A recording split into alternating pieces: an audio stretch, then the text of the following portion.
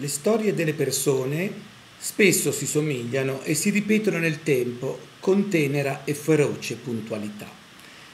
Ecco, questa è la frase che ho voluto mettere mh, nella prima pagina del mio nuovo romanzo L'esplosione, edito da mh, Libero di Scrivere, e, mh, perché effettivamente penso che sia la chiave per la lettura di tutto il romanzo. Eh, per quanto questo romanzo sia inserito giustamente in una um, collezione di gialli e noir, eh, lo definirei piuttosto un romanzo eh, del, sì, del mistero, perché c'è un mistero al centro della trama, un romanzo d'inchiesta, perché effettivamente c'è un'inchiesta da parte della, dell'ispettrice Trani, che poi è il personaggio che avevo già... Mh, fatto conoscere ai lettori nel romanzo precedente Azzale Rosse. E, ehm, quindi c'è tutto questo, eh, non, non, si può considerare veramente esattamente un giallo, però sicuramente c'è una ben, bella dose di mistero e di, di, di, di suspense, se vogliamo,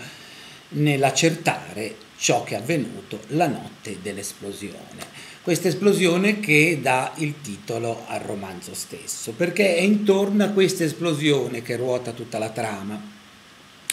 E la trama, devo dire che eh, questa volta ho voluto strutturarla in maniera un po' più complessa. Effettivamente eh, le tre parti del romanzo sono a loro volta divise in due parti. Nella prima parte c'è eh, la descrizione della, della giornata, di questa ispettrice, la giornata che segue l'esplosione del titolo. E quindi tutta la sua inchiesta, eh, coadiuvata dal suo solito assistente eh, che già appariva in Azzale Rosse, Marco Ruggeri, e in questo caso addirittura con un altro, un altro ispettore collaboratore, l'ispettore Diodato,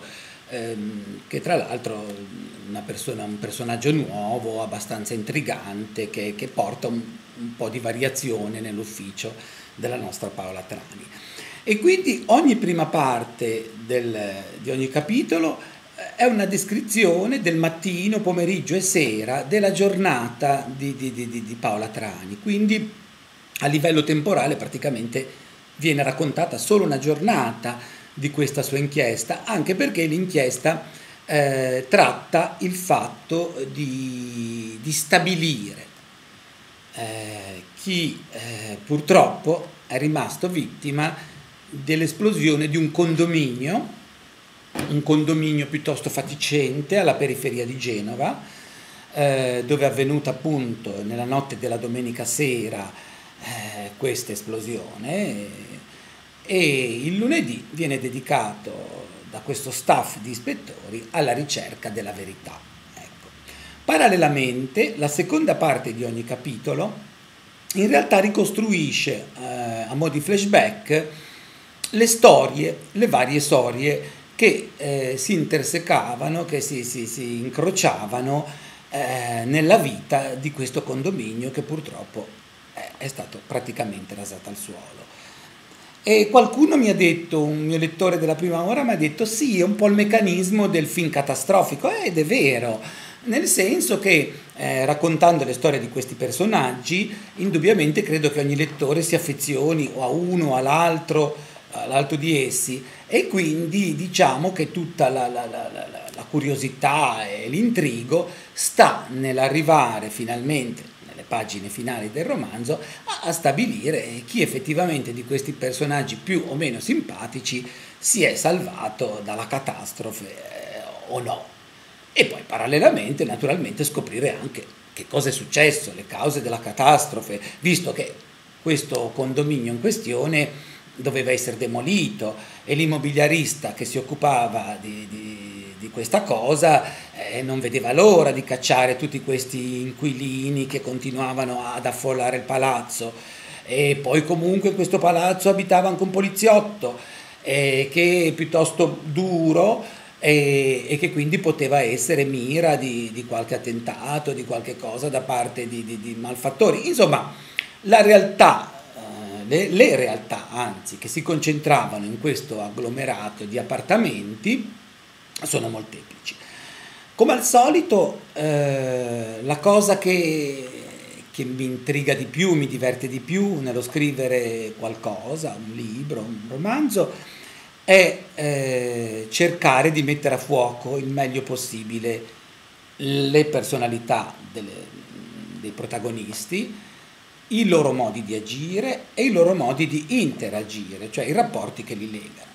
E di fatti penso di esserci riuscito, perlomeno io rileggendolo sono soddisfatto del risultato, nell'aver eh, creato eh, dei personaggi, prima di tutto che alcuni perlomeno ti rimangono dentro e, e soprattutto, quello che piace molto a me, aver stabilito tra di loro delle concatenazioni. Ecco. Per cui, eh, ovvio, eh, è un po' esplorare come al solito l'universo degli uomini, delle donne, dei maschi, delle femmine, eh, di quelli più colti, di quello più semplice. Era eh, il condominio che ho preso in questione, che ho inventato, indubbiamente racchiudeva un po' tutti questi generi, i vecchi e i giovani, ecco, le varie categorie che si scontrano. Difatti, come scrivo nell'ultima pagina di, di, di, copertina, eh, un unico tragico destino è in agguato nella vita di un gruppo di persone, accomunate dal semplice fatto di abitare nello stesso condominio. E queste persone effettivamente eh, sono molto variegate, ecco, nel senso che eh, c'è gli studenti che hanno messo su una band e vogliono partecipare a un tale show, eh, c'è appunto il poliziotto che citavo con moglie e figli, figlia eh, che non ha sicuramente un matrimonio felicissimo, c'è al piano, al pian terreno addirittura una certa contrapposizione tra due inquiline, una addirittura che ha 28 anni e ancora illibata eh, insieme, e vive insieme a una nonna terribile e viceversa la sua dirimpettaia è addirittura una prostituta. Per cui insomma eh, mi sono divertito a creare dei contrasti e dei rapporti. Uno, all'ultimo piano abita un professore rimasto vedovo da poco, che però non ha ancora perso la sua fede di vita e a completare il quadro una famiglia di extracomunitari, in realtà una famiglia di romeni che lavora e vive in questa periferia genovese. Un'altra cosa che mi è piaciuta mettere in evidenza e che credo insomma che salti abbastanza all'occhio proprio in questa contrapposizione tra uomini e donne, è un po' il fatto come tutte, sia gli uomini che le donne trovino modalità di differenti per mascherarsi, per mascherare i propri sentimenti, il loro vero essere. E mentre gli uomini eh, a volte eh, assumono una corazza, una corazza che per dissimulare eh, le loro debolezze, le loro, insomma, le loro fragilità, le donne, e qui ci sono figure di varie donne, si truccano. Ecco. E il tema del truccarsi è, è abbastanza, abbastanza, importante in questo romanzo. Difatti le varie donne, ispettrice Trani compresa,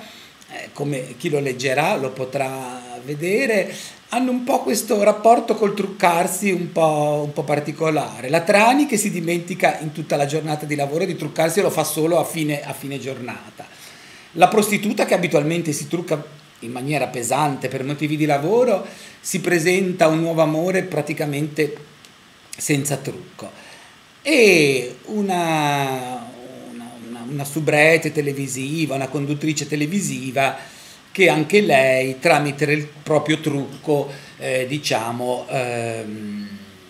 crea tra l'altro uno, delle, uno, dei momenti più belli secondo me del libro che non anticipo proprio perché insomma chi lo leggerà lo, ne potrà fruire. E per cui mh, mm, sicuramente mi è piaciuto mettere in evidenza questo modo diverso di uomini e donne di,